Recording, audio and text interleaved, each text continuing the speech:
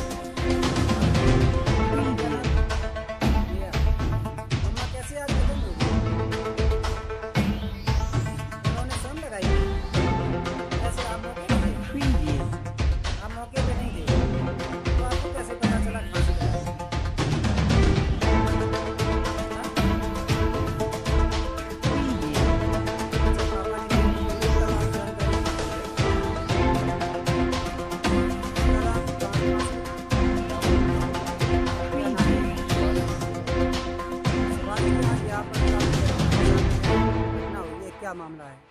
ये मामला हमारे यहाँ ये पंद्रह दिन पहले गई